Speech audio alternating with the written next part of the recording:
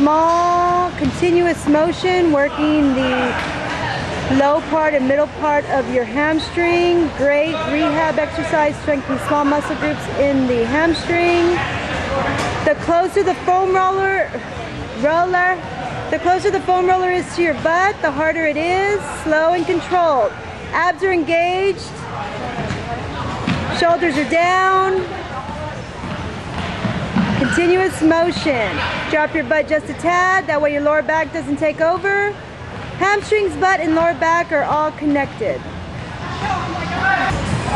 Again, foam roller in and out, slow and controlled. Great for the hamstring, the butt, strengthening the lower back, abdominals, lower abs are tight. The closer the foam roller is to your butt, the harder it is. Right there is good. Now, control your foam roller, everything's engaged.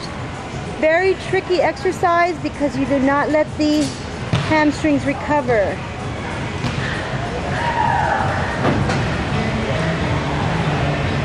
Do not fade so much, good, nice and tight, good.